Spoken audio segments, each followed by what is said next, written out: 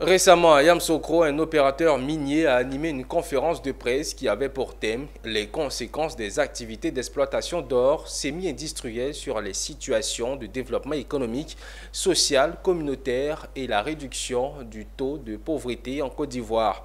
Au cours de cette conférence, il a fait la promotion de l'employabilité dans le secteur des mines semi-industrielles en Côte d'Ivoire. Charles Kouakouf, Pierre Tebeu. Cette conférence qui s'est tenue dans les locaux de Casa Gold a vu la présence du personnel de la société et des journalistes. Le conférencier, à cette occasion, a fait le portrait du secteur minier en Côte d'Ivoire. Aujourd'hui, le ministre est en train de poursuivre les efforts pour ce qu'on appelle les réformes du cours. Il a salué pour son management avéré pour son leadership. Parce que la réforme là va nous inciter, je vais dire avec l'avènement du nouveau code minier qui est en vue. Sur le ministre on en parlait déjà. Ça pourra peut-être inciter beaucoup de jeunes à s'intéresser à l'activité d'exploitation d'or. Puis il a expliqué les conséquences négatives et positives de l'industrie de l'or sur la situation du développement socio-communautaire du pays.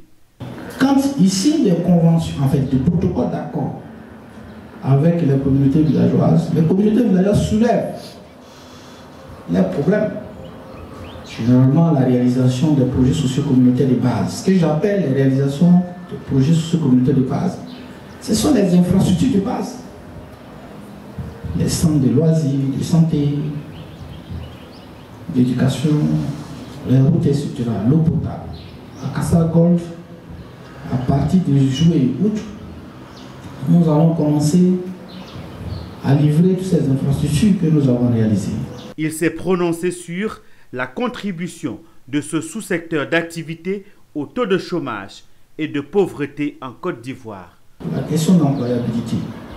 Au niveau des Casa Gold, nous avons déjà signé depuis 2022 une convention de partenariat avec l'université Jean-Laurent Guédé de faire venir les étudiants, ne serait-ce que pour des stages de qualification professionnelle ou des stages de soutenance. Il a terminé sa conférence en proposant des solutions pour lutter contre le phénomène de l'orpaillage illégal qui gagne de plus en plus du terrain sur l'ensemble du territoire.